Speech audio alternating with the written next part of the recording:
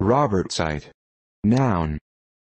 1. Mineralogy, a monoclinic prismatic mineral containing calcium, hydrogen, manganese, oxygen, and phosphorus.